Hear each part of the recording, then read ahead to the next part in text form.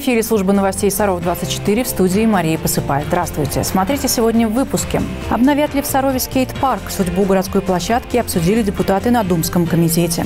Ночь искусств-2022. Как прошла всероссийская акция в Сарове? Поехать на дачу или устроить киномарафон дома? Чем займутся саровчане в праздничные выходные? Далее расскажем обо всем подробно. С вопросом реконструкции и модернизации скейт-парка в нашем городе обратился в Думу инициативный саровчанин. На заседании комитета депутаты обсудили возможность построить новую скейт-площадку с учетом всех особенностей конструкции сооружения. Также народные избранники подвели итоги проекта «Вам решать».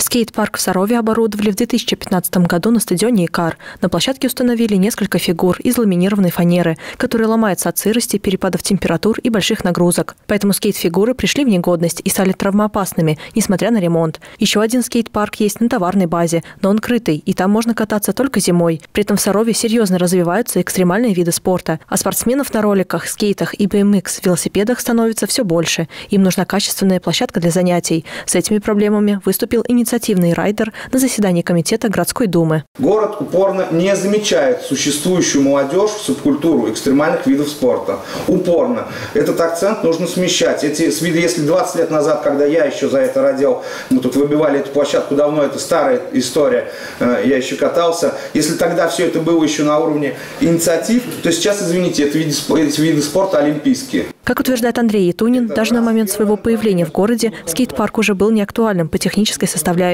так как во многих городах установлены бетонные конструкции. Кроме того, нет планового обслуживания спортивного объекта. Райдеры заверили, что в бюджет 2023 года подали дополнительную заявку на закупку оборудования скейт-парка размером 20 на 30. Этот проект э, Москвы по оценочной стоимости еще до того, что произошло у нас в России, это было 10 миллионов. А, значит, э, конкурсные процедуры прошли, там как бы, ну, оценочная стоимость примерно такая. Да.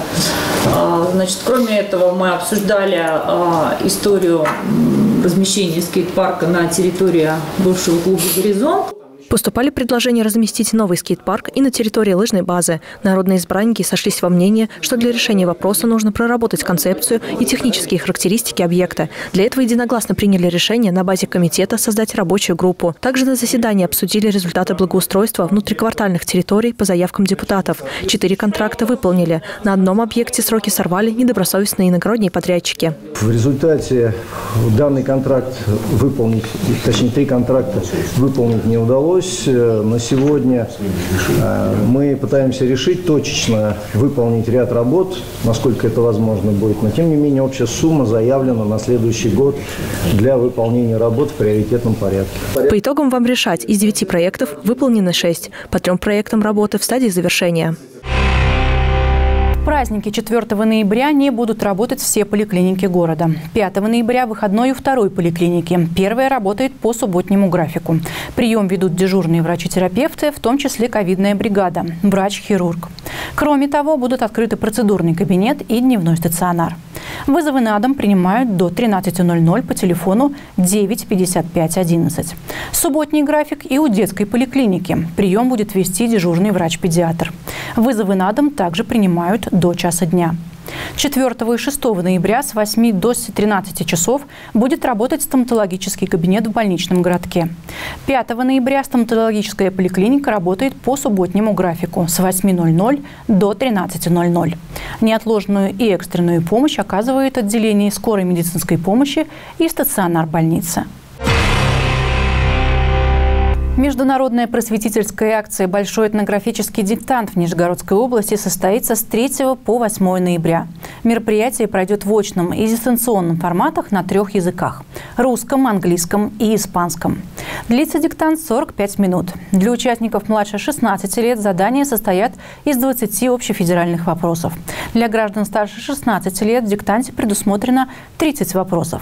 20 из них общие, а 10 специальные для каждого субъекта России. Принять участие в онлайн-формате можно на сайте miretna.ru. Другая важная информация в подборке коротких новостей. Поезд Деда Мороза приедет в Нижний Новгород 3 декабря.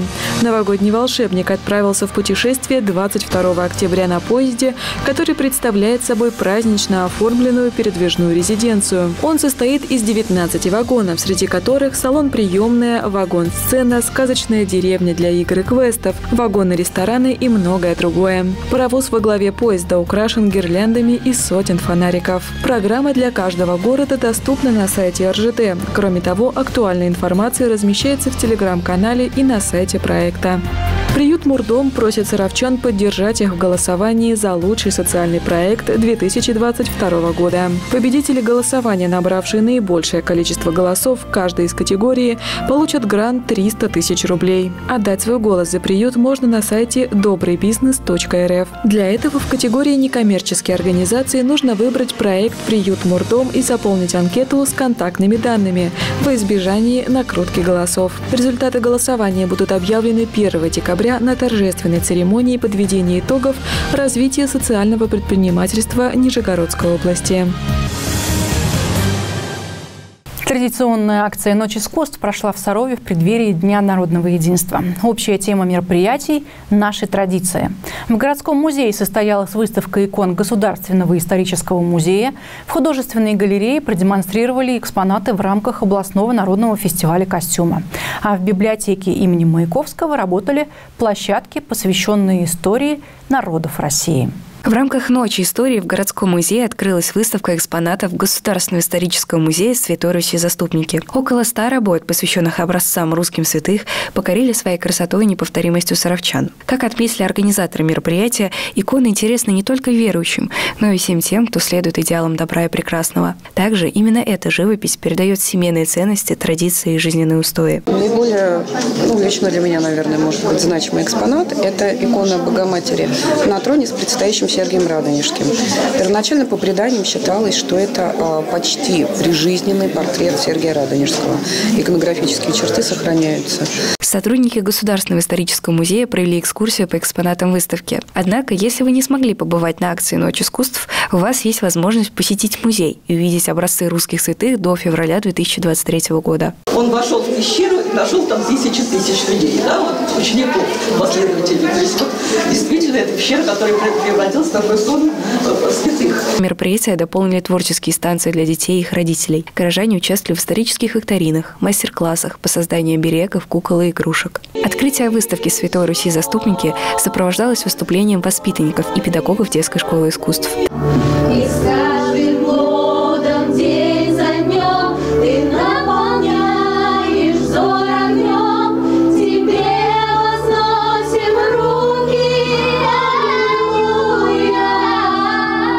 Художественная галерея «Ночь искусств» стала настоящим праздником, ведь одновременно открылась две выставки. Детская школа искусств номер два организовала третий областной фестиваль народного костюма «Краса России». Работы подготовили как взрослые, так и дети, причем с особой любовью к народному творчеству. Здесь выступали творческие коллективы, здесь пели дети прекрасно, а, здесь были танцы. И а, все, весь фольклор был под стать этой выставкой, потому что она объединила мастеров, художников и детские работы Нижегородской области. В рамках акции открылась выставка городских художников.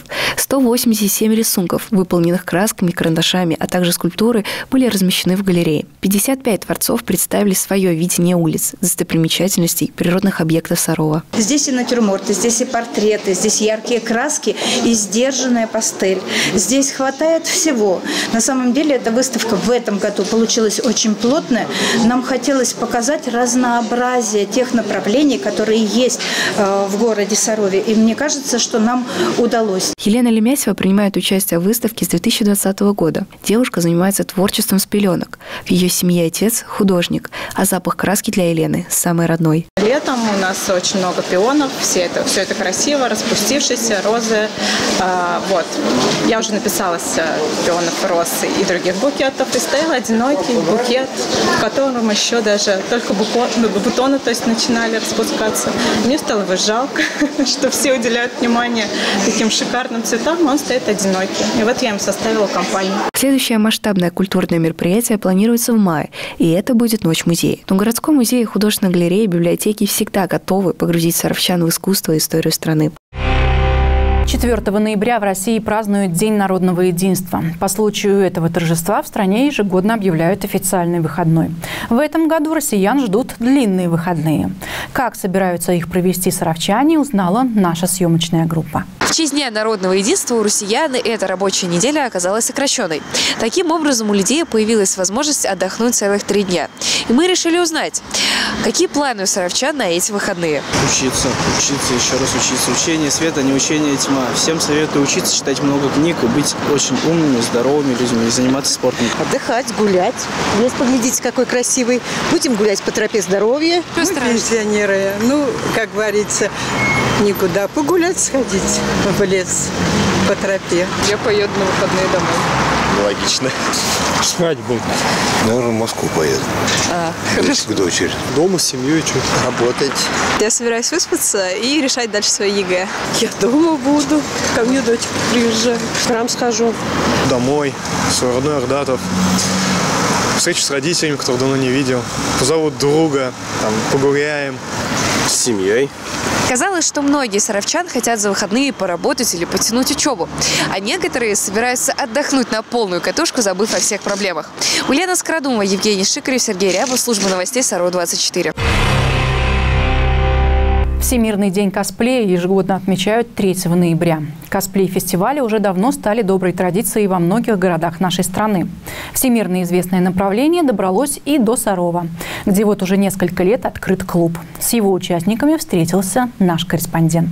Косплей называют искусством перевоплощения в любимого персонажа. Кино, сериалы, компьютерные игры, комиксы или книги – основные источники вдохновения для косплееров. В качестве образов для воплощения, как правило, выбирают ярких, запоминающихся персонажей, обладающих характерными чертами поведения. Это важно, поскольку косплеер не просто примеряет на себя одежду героя. Он буквально становится им, говорит тем же тоном, копирует манеру речи, жесты, мимику. Это нелегкий труд, однако результат результат проделанной работы порой просто поражает воображение. Самое важное в косплее – это, наверное, отдаться этому искусству, скажем так, и не заканчивать на половине пути. Потому что есть вот начинающие косплееры, которые вот первый раз купили парик, не знают, как его уложить, не знают, как правильно сделать костюм или надеть его даже. Косплеем Лина занимается около пяти лет. Началось все с простого новогоднего желания. В канун праздника она попросила родителей купить костюм популярной японской виртуальной певицы Хацуна Мику. А дальше череда ярких, интересных, многогранных образов. Один из последних Лина собрала из своего шкафа.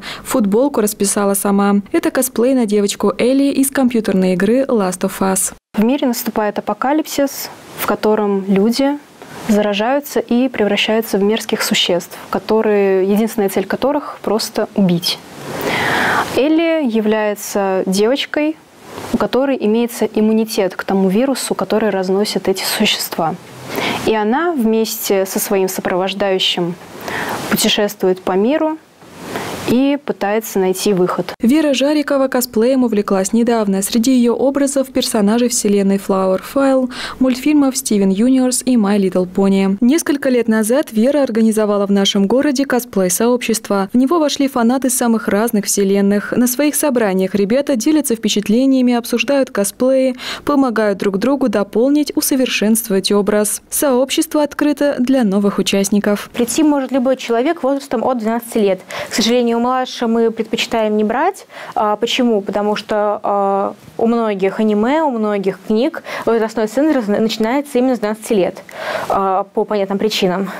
Поэтому мы будем рады любым. Если вы не настроены агрессивно, если вы в целом адекватный человек, то, пожалуйста, наша дверь всегда открыта. Неформальные встречи выросли в официальное косплей-объединение. Сейчас клуб базируется в молодежном центре.